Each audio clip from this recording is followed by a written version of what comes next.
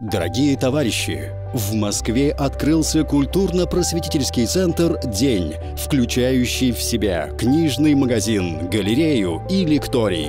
Конференции, встречи с авторами канала «День», выставки работ художников круга газеты «Завтра», книги издательства «Наше завтра» на третьем этаже ТЦ «Добрынинский» в трех минутах от станции метро. Добрый день, друзья! Рады вас всех видеть. Как обычно, по пятницам с Константином Валентиновичем мы проводим аналитику того, что произошло за эту неделю. Владимир Владимирович недавно давал еще одно интервью после Такера Карлсона и заявил о том, что единственное, о чем можно сожалеть, это что Россия не начала активные действия на Украине раньше. На ваш взгляд, уместно ли это заявление, или мы были не готовы, на ваш взгляд? И что было бы, если бы мы начали раньше? Это сказал президент Российской Федерации. Да. Президент Российской Федерации, конечно, обладает намного больше информации, чем я. Вот. Вопрос стоит, что понимать под э, начали боевые действия раньше. Ну, наверное, можно было бы говорить о 2021-2020 годе.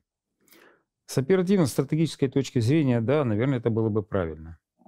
Но с военно-политической точки зрения это было бы преждевременно и не мотивировано. Потому что э, необходимо было создать морально-психологические предпосылки к таким действиям. А что это нужно было делать? Это, ну, скажем, в 2020 или в 2018 году, представьте себе, признать Донбасс и Луганск, направить Западу меморандум, который назвал ультиматумом, по поводу ухода НАТО на границе 91 года. Тоже можно было бы сделать. Но вспоминайте 18 год, 19 год еще не было такой напряженности. Да, уже многое чего было, но еще напряженности не было. То есть, попросту говоря, полноценные морально-психологические предпосылки сложились именно вот к 2021 году. И, собственно говоря, с чего все это началось? Ведь наш президент выступал в седьмом году в Мюнхенской встрече по поводу того, что э, Волк знает, кого есть, да? Вот. И много раз потом делал заявление, но окончательно водораздел на две, ну, раздел мира на две части был э, сделан, идейный раздел мира на две части, был сделан в 2021 году на э, Давосском форуме. Хочу напомнить, что тогда Клаус Шваб в своем докладе предъявил стратегию глобалистов и цель глобалистов построения инклюзивного капитализма – признав, что капитализм существующий, он неэффективен, что он себя изжил. И поставил сроки. 30-й год, когда он должен быть инклюзивный капитализм построен. По сути дела, под инклюзивным капитализмом и всем тем структурах и организации общества, которая должна быть под этот инклюзивный капитализм сформирована, по мысли Кауса Шваба, это было бы мондиальное государство, то есть единое государство во всем мире, где отдельные э, государственные образования стали бы просто губерниями вот этого супергосударства. А власть в этом супергосударстве должна была предложить транснациональным корпорациям их ставленникам. Никто никого туда не выбирал. Вот. То есть сейчас мы хотим того или нет, но власть олицетворяет и отражает интересы в той или иной степени а, соответствующего общества, соответствующего народа в соответствующей стране, то а, тут никаких выборов нет.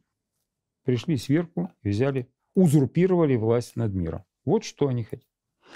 И одновременно там же, ну что интересно, онлайн выступил наш президент, который он выдвинул альтернативную модель мира, многополярного мира.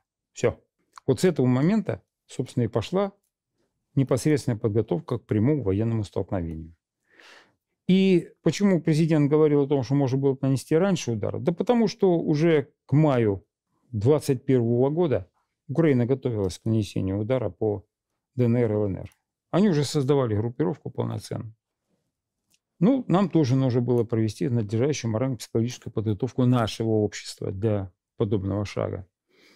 Можно было бы сделать раньше. Наверное, президент считал считает, э, лучше владеет информацией. Но с моей точки зрения, с учетом э, морально-психологической подготовки общества, нужно было еще время. И это время наступило в 2022 году. А экономически бы мы выдержали те санкции? Да, выдержали бы, конечно. Да, выдержали бы, конечно.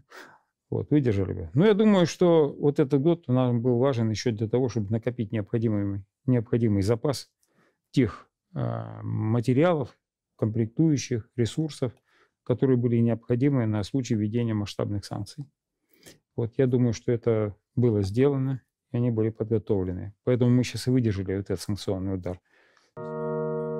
Полную версию смотрите на нашем телеграм-канале. Ссылка в описании.